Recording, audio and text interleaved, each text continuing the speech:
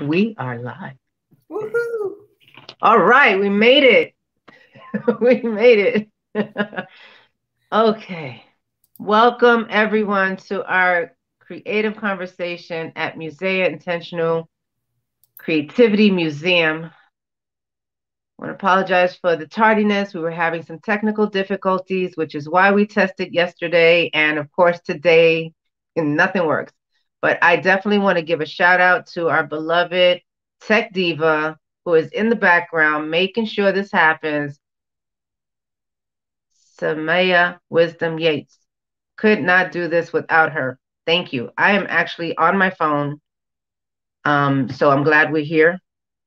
And whew, so our creative conversation is um a part of our museum and membership programming. I am Milagros Suriano, your host. I'm also the VP of programming for Musea's Intentional Creativity Foundation. I'm a Color of Woman 2019 graduate and a guild member for Musea. And I am here with the beautiful Virginia Masson, and she is going to be talking to us a little bit about the special day that today is, which is World Peace Day or International Day of Peace, whichever way you want to call it. We are just going to be celebrating peace and honoring peace in the world. So I want to thank you, one, for joining us, two, for your patience, and invite you at this time to grab your cuppa. Hopefully, it hasn't gotten cold your red thread, and a journal because, of course, we never know what our muse is going to um, be called to harvest from our conversation. Okay. And I'm still breathing in. So, with that, I managed to, oh, there we go. lose my red thread.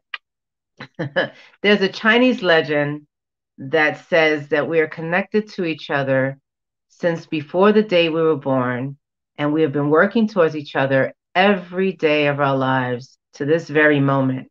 I believe this to be true because here we are. Okay. So thank you, honoring you for your presence and being willing to allow us to plant these seeds with you.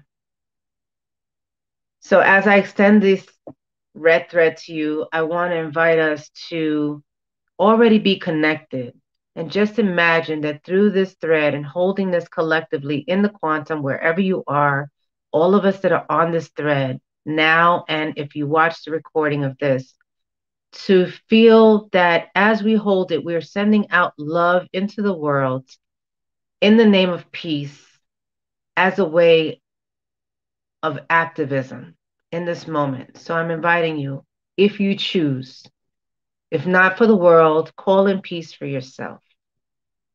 All right? Because the world needs it. And every bit of peace that we can muster up, whether for ourselves, if we're not ready to share it with the world, claim that for yourself. And we want to honor you in that. So thank you for joining me on this thread. And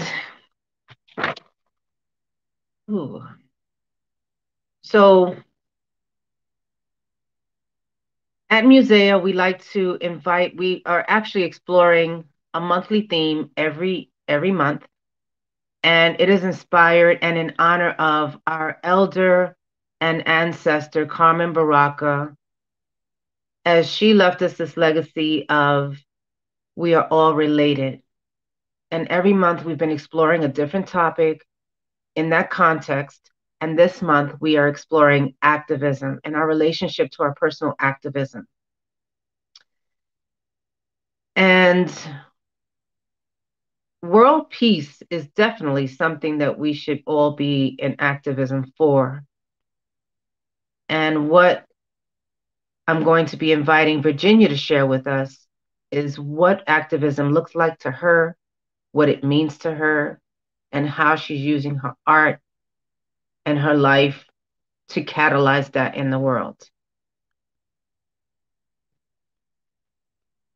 After we speak, I'm going to be just giving you a little update on a couple of events that are happening with the museum. And um, so you can look forward to other ways that you can cultivate your voice and your purpose and your calling in life through creativity. So, Virginia, how about you introduce yourself to our viewers? Just tell us a little bit about you. So, thank you for joining, and the mic is yours. Well, thank you, Millie. I, I'm so happy to be here. Um, I'm still doing the same thing Millie is, which is coming down from the adrenaline rush of a technology issue. But we made it, so um, yay. Um, that's one area where it's difficult to be peaceful, technology. Um, and my name is Virginia Masson. I am the um, the guild director for the Intentional Create Foundation. Um, I am a Color of Woman graduate 2018. And um, I'm also the uh, administrative director for the Cosmic Cowgirls and secretary of the board for ICF. So I just like to get my fingers in a little bit of everything. Um, but it is because of deep love for this work that we are doing um, so I'm I'm very happy to be here talking about International Day of Peace and sharing um, just my ideas. And I think we all have unique ideas about how to um, bring more peace to the world. And um, of of anyone, I would think that this group understands the hard work that that is. Mm, mm, that's so true. Definitely, it is hard work. But together we can make a difference one at a time as long as our love is at the center of what we're doing. Yeah. Um, we are making waves. We are definitely making waves.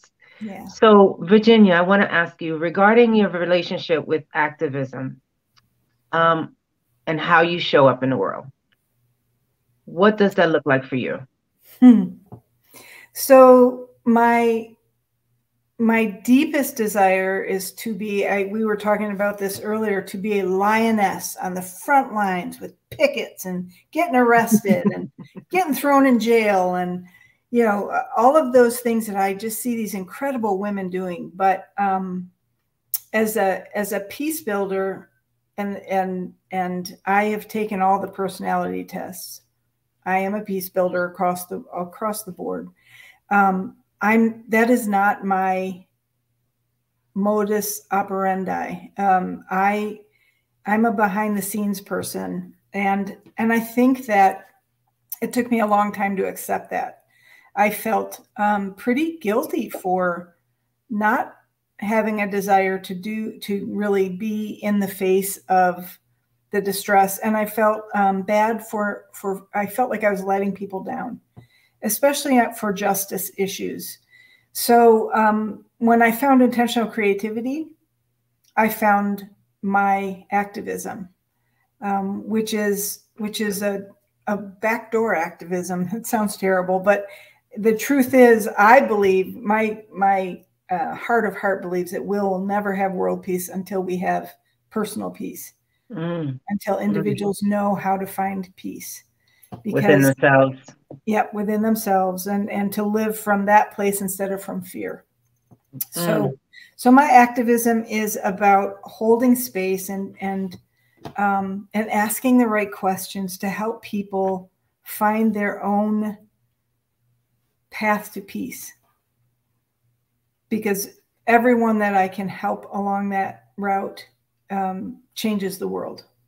Yeah, yeah definitely. Well, honoring you and and holding that and carrying that thread. More of us, you know.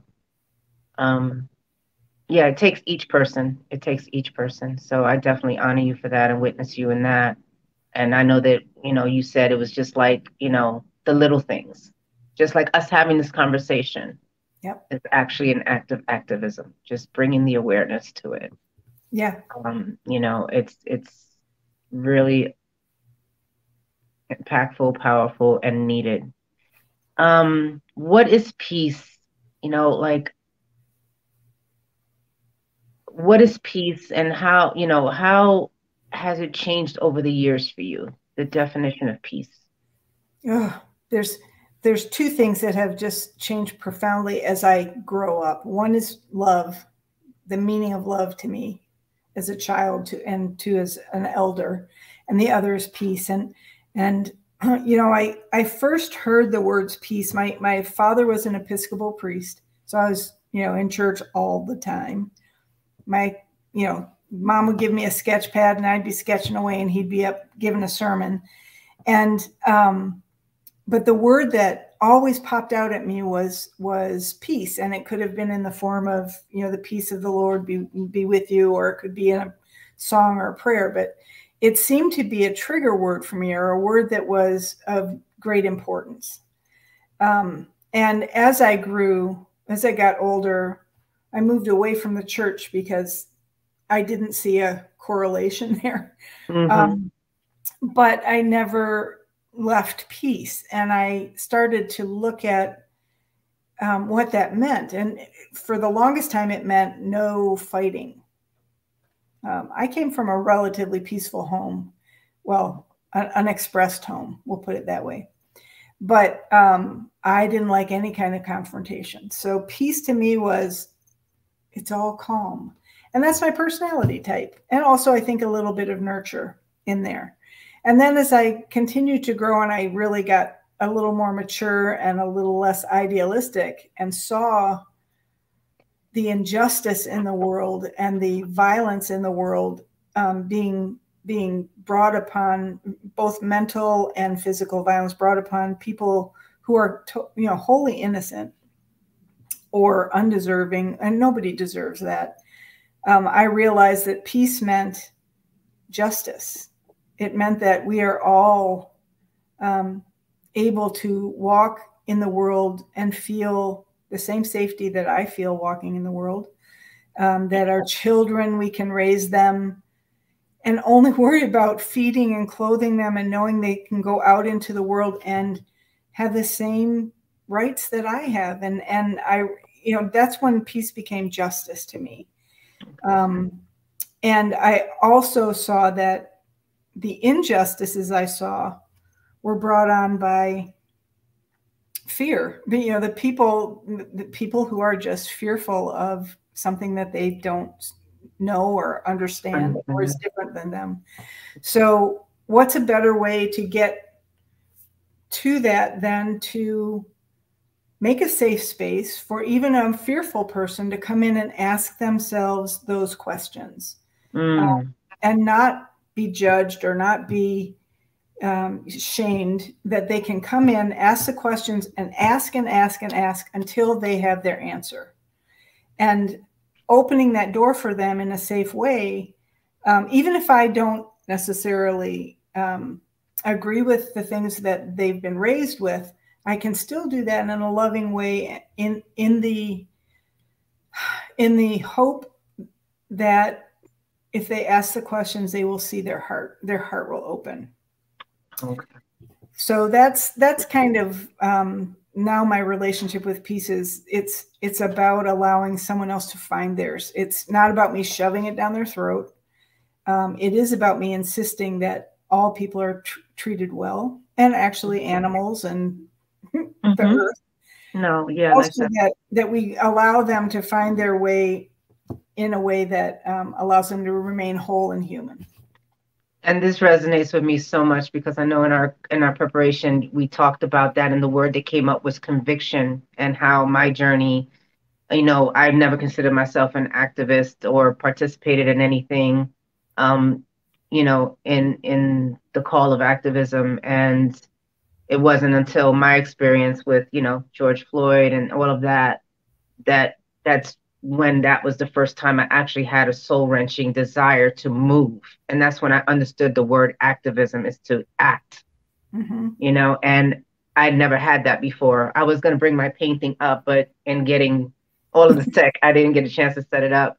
But it resonated with me because, you know, I felt that in my learning about activism and finding my voice and speaking in solidarity with, you know, the situation in the community, um, I found myself in situations where my convictions were challenged because I didn't share the same, my actions weren't the same, like the picketing and the, you know, the fist up and um and it made me feel awkward. So when I learned through you that, you know, that resume, I'm not a confrontational person either. And anytime there's conflict and com- confrontation, I just break, I just collapse within myself. So I love what you're sharing about not having to get in someone's face and not actually having to um you know to to to do anything that you don't feel comfortable with. You know your activism is personal to you. So i can i can actually stand up for the same cause as you do but i can do it in my way. And when you said that that sort of like made it felt good in my body. And i know that we're talking about activism in the sense of like social justice. And i know one of the sites that you shared with me that's their theme just like we have a theme of activism their theme is actually social justice in regards to world peace. Um, and I just want to bring to light that activism, we can be an activist, an activist towards so many things. You know, social justice is one, peace is another. Um, we recently here at Musea did an exhibit for um, uh, with Tree Sisters, you know, in activism for the trees and the land, you know. Yeah. Um, so there's so many different ways that we can be and and you know choose to act and and and and do something on behalf of something you know whether it's the land the animals whatever's in your heart that matters to you that's really great but you know getting back to as far as peace when we think about peace we always think about conflict so you know with it being world peace day then yes in this context we definitely want to um, hold that you know but they resonated about conviction you know, and the conviction is basically like what's propelling you to take this action for this cause that means so much for you, you know, right. or this person. So I love that. Um, let's see. It must have been really interesting growing up with a dad as a priest. he was a very open-hearted man. So it it was we had some great conversations. Mm. And that was the foundation. And it's like really resonated with you. Yeah. Now I see that you have your legend behind you from Clan Kira, right? Yeah. What's her name? Her name is Blossoming Heart. Okay. and how has she impacted, informed, or shifted your relationship with activism? Um, it's actually super timely for me because it's it is I feel very naked saying the things I'm saying to the public. Number one, I know that um, that I righteous anger is righteous anger, and I am not dis- discounting that at all. It's just not something I carry. Um, so when I painted her, what she kept coming up as as, and I don't know if you can see her face, but she she doesn't take any crap from anyone, or and and or injustice from anyone, but she she is a sanctuary for those whose hearts are opening, and and I think um, she made me feel like that's okay and that's a that's a an important thing too. And you know maybe one day i'll be a courageous lioness. I don't know. I change you know every year i change. So maybe when i'm 80 i'll be out there. But for now this is the work that i see the greatest movement um, from. So she represents this um, honest sanctuary for exploration of truth. Mm. I love the way our paintings actually, especially with legend, and that's what the core foundation of legend is, is to be that person, you know, be that legend that does what we as normal humans would probably not do and step into that greatness and that that that big love that we want to bring into the world and carry it in a way that serves serves us and everyone around us. Yeah.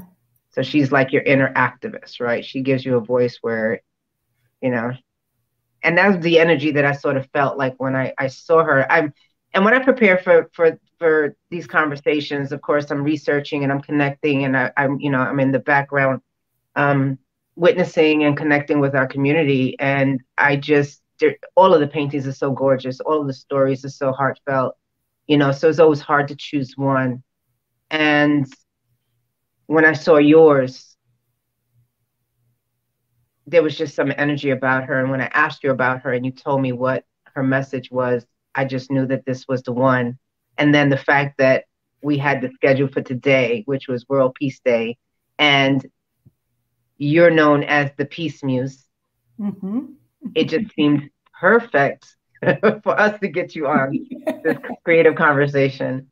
Um, why the Peace Muse?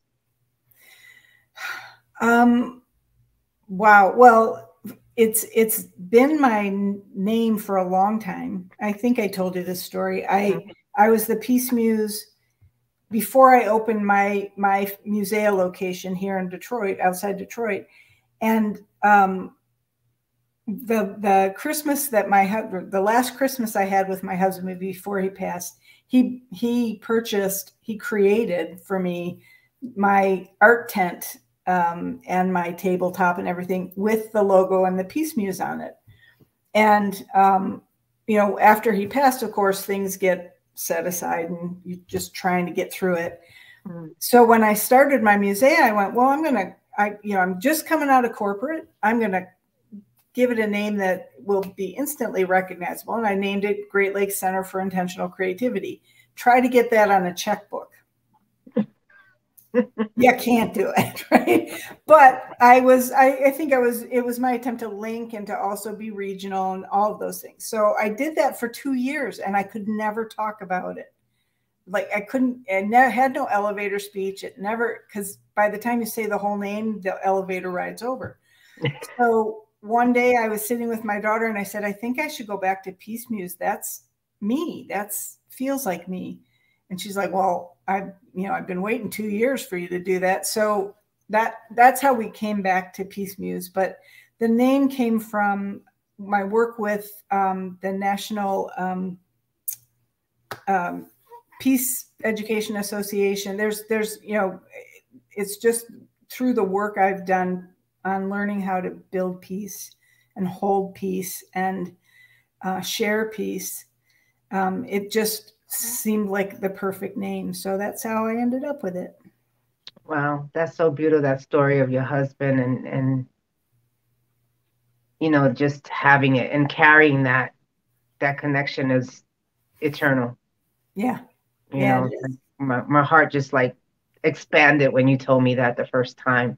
And I get it, you know, like when I started my journey, you know, before all of, you know, before even being um connected with intentional creativity, just my creative journey. I had this dream of starting a business, and the name that I came up with was Millie Made Creations, and I had that for so many years, even before I was even actually physically making any, you know, like really promoting myself. Then one year for my birthday, I bought myself my own website, and I got business cards, you know, and started that. But it was since then, and going through my journey with intentional creativity, color of woman, and everything that's been happening. Um, one of the things that Shiloh teaches is the concept of being healed enough, you know, knowing that in any moment you can choose to be the best you that you are, you know, and not worry about healing all of the stories and all of the traumas and fixing all of the things that are not right um, or not being where you perceive yourself to be at any point of your life and just choosing that right now you're healed enough. And that rang with me so much because my story and journey has been about just my personal healing and through that um, inspiring and catalyzing other women beings you know who feel called to make a shift in their life through creativity and it was almost a year ago that i decided i looked online and i found that the url healed enough arts was actually available so i bought it so that I can truly carry that energy like you carry the peace muse. And mm-hmm. it's in a way it's helping you step into and and be that. So that resonates with the name and how like everything else you were doing didn't even compute. And it wasn't until you claimed it and became it and lived into it that everything started opening up for you. Yeah, I went I went full on woo woo. and, and, I, you know, and I, I'm telling you, that's a scary thing to do when you've been in corporate your whole life. Is you know, and and they already think you're nuts. So, um, and it was such a relief to just be that finally. Um, so I. I encourage people to, you know, as they're doing their painting, to to step into who you are. And I'm still stepping in. I mean, I step all over myself. It's, you know, it's a great, process. but I'm working on it. So I love it. And that's all you can do. You know, every day we learn, we grow more, opportunities happen. And just when you learn to feel comfortable with that, just being. Yeah. You know, and and and honoring what your heart is asking of you yeah. The rest is eh, whatever. and you're in good company. So it's so much easier to do this work when you know that you're not alone. And yeah. that's why community is so important because we all have a stitch that needs to be added to this tapestry of life. yeah. Know?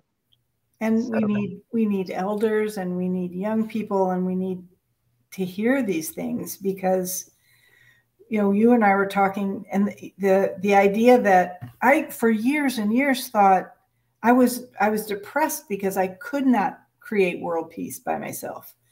And I finally had a friend say, "What is in this for you? Why are you, you know, why do you think you have to feed all the starving children in the world to be worthy?" And not to say that that isn't a burden or something that I carry, that there's that suffering. But if I can't fix me, how am I going to even, you know, ripple out to anything? So it's like a pebble and and there's nothing there's nothing too small. There's nothing no step too small. too small. Yeah. No, no, not at all. And it reminds me when you said that, I was I can hear Michael Jackson singing in the background. you know, we have to start with the woman in the mirror. Yeah.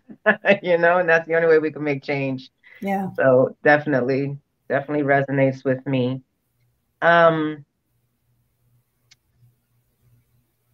saying that, how you know, nothing is too small. How can, how can viewers, our viewers, um, start in a small way to take action to engage with activism, you know, in activism for peace?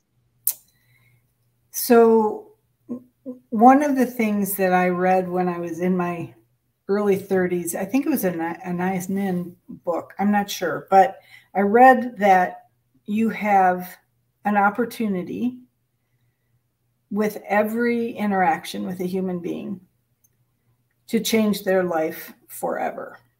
And, uh, you know, that seemed like an awfully big thing. But then it went on to say, when you're passing someone on the sidewalk or in the grocery store, um, if you look at them and smile, you change their life. It might be their mood. It might be, you don't know, they might have been contemplating suicide and, and your kindness shifted them enough. You, we don't know. Um, if you if you ignore them or look away, you're also changing their life. So all of those, and it, it, I'm not trying to make life overwhelming, but there's just opportunity everywhere, and it can be the tiniest thing. Mm. You know, it can be a, a, kindness to the checkout lady who's terribly grumpy today. Um, that you know, when when the last thing we want to do is be kind because she has been unkind be kind because it's it's easy to do. It's so mm. easy. So I would say just watch your interactions with people and with yourself.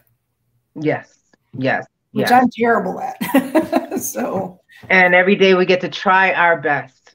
Yeah. Right? Every day we get to try our best. I'm thinking about the four agreements and that's just it. You know, it's like every day. Yeah. Try your best. As long as you try your best, it's all good. It's all good. And I know that you have some other resources and links that you want to share with us. Um, I did give them to our team members, so mm-hmm. um, they should be in the comments. Um, and if not, we will definitely make sure you have those so that you can find a way and feel into which way or if anything is calling to you. And you don't have to do anything today, but just we want to plant that seed that, you know, if something catches your attention, feeling into your heart, if you feel moved to to a cause, any cause.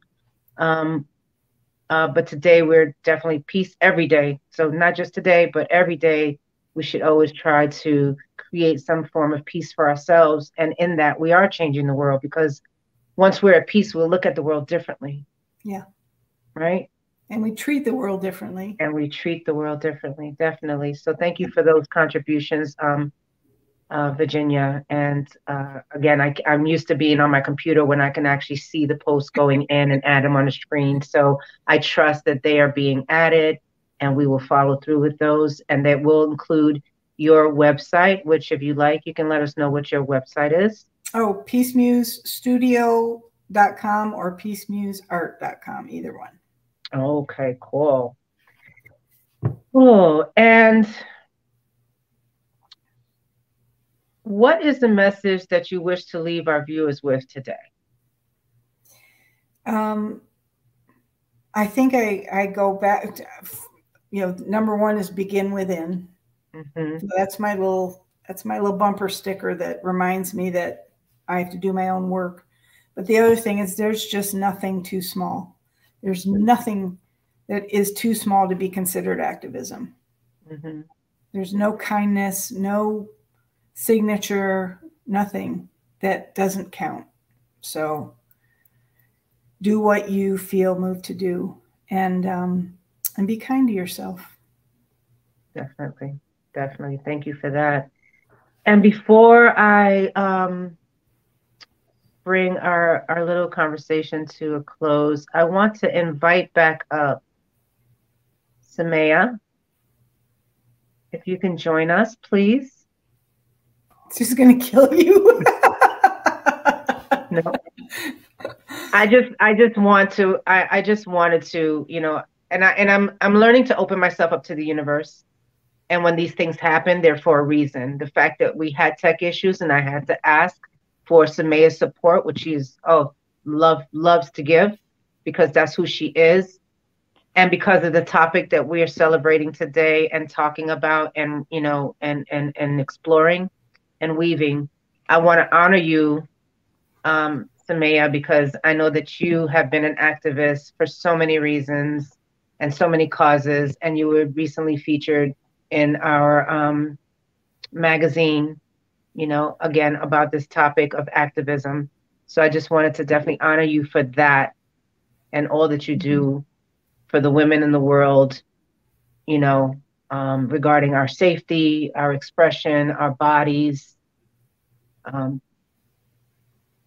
domestic violence, partner violence, you know, just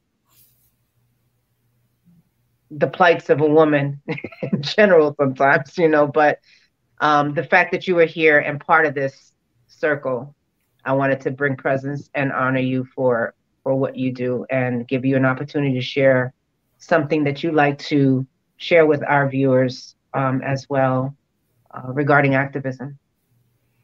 Um, thank you. But yes, like Virginia said, I'm going to kill you. I'm in my tech gear, not on one screen. But um, I guess what I have to say about activism is just do it. Um, like Virginia was saying, even the smallest act can have a great impact, and you never know.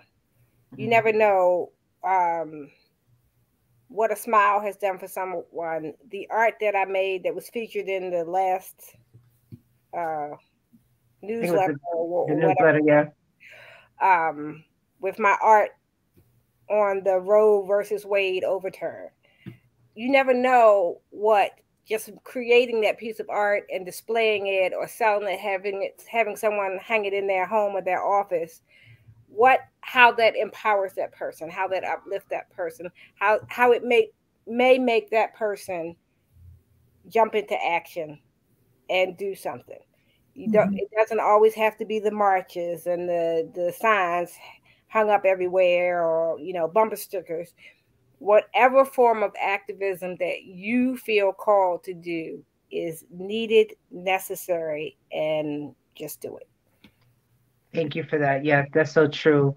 And and it's one of you know, and that's what for us the core of intentional creativity is about. You know, you know, we're museum, museum, museum, intentional creativity museum, and what we are planting and sharing and cultivating and inspiring is also art as activism. And that's basically our language and how we express ourselves in our community and what we want to grow outside of our community individually.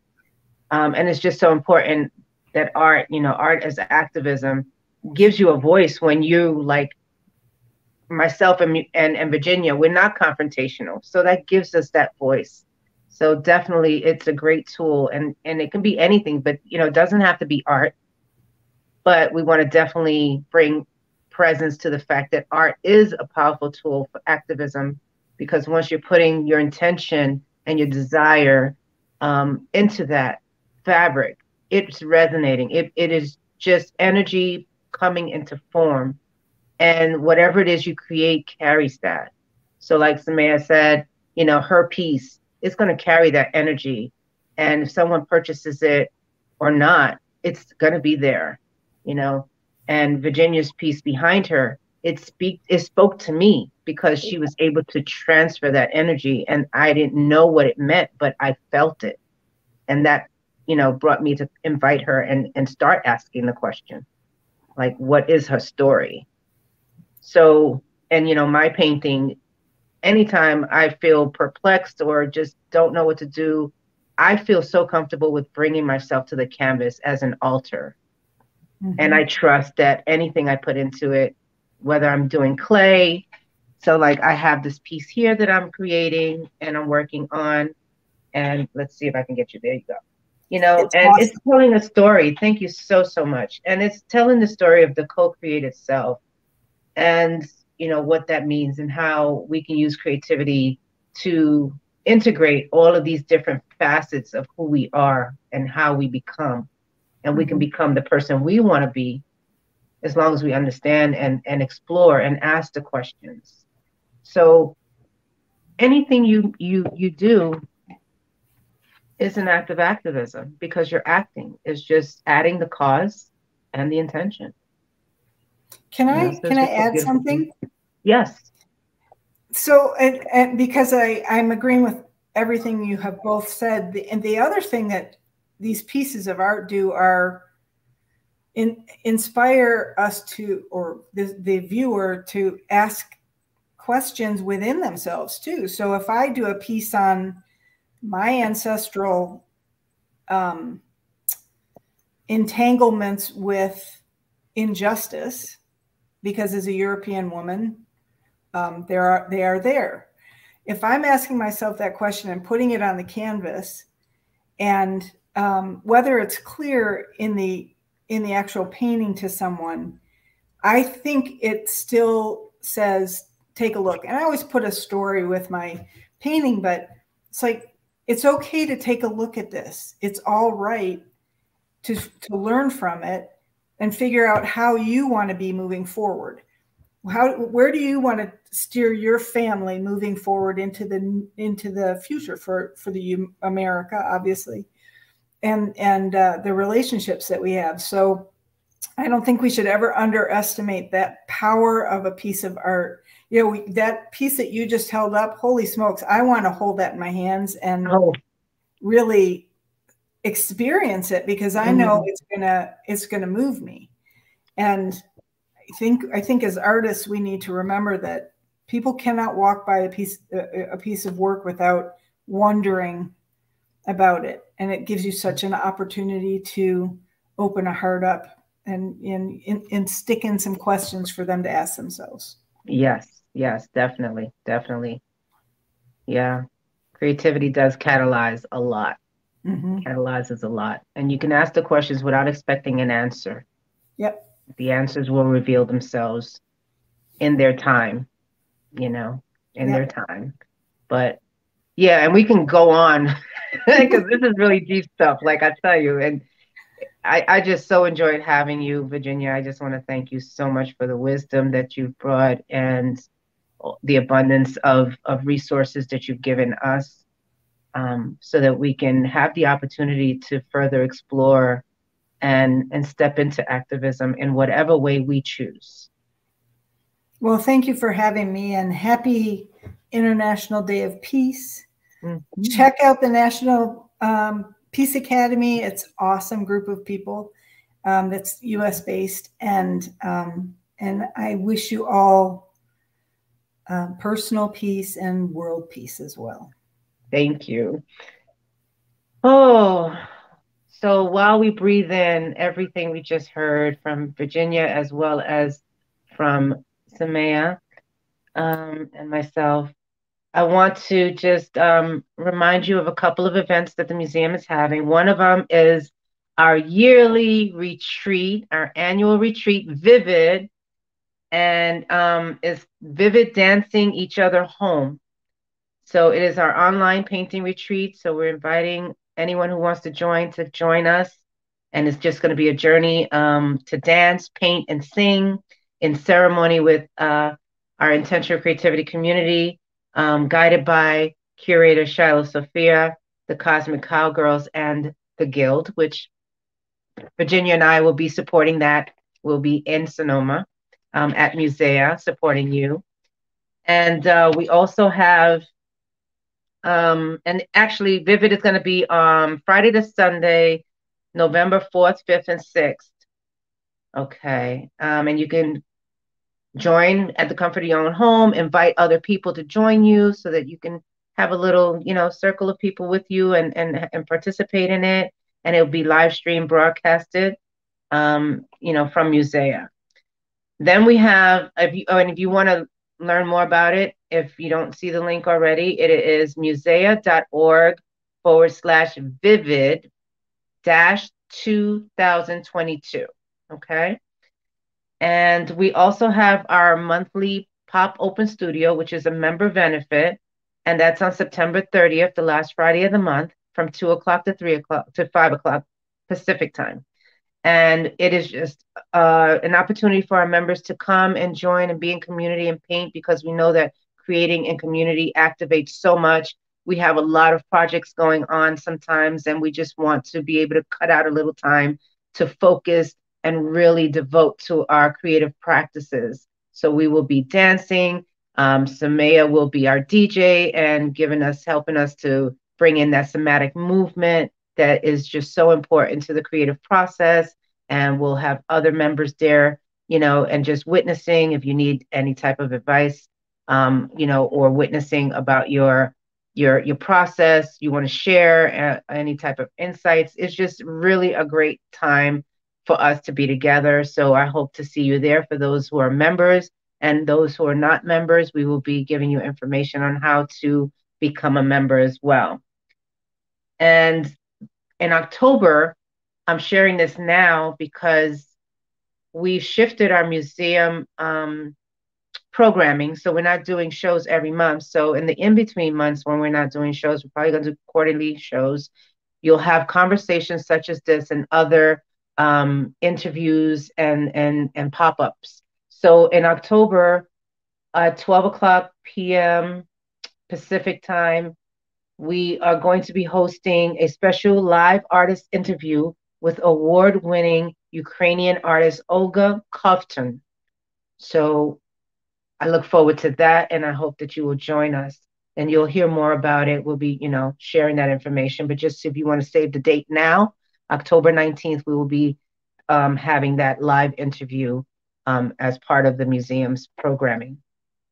And the creative conversations are just one of the many benefits that you would get as a member. If you're interested in becoming a member, then you can just go to musea.org forward slash memberships and explore the different levels of membership that we have.